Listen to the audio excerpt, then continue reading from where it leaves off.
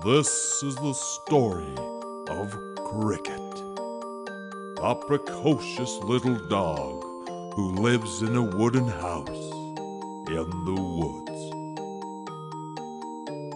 She lives there together with the woman in the red coat and the man in the brown boots. It's a wonderful land of fields and farms and oil, big trucks, and the river that Cricket loves so much. So join us for Cricket's story on Cricket Cast.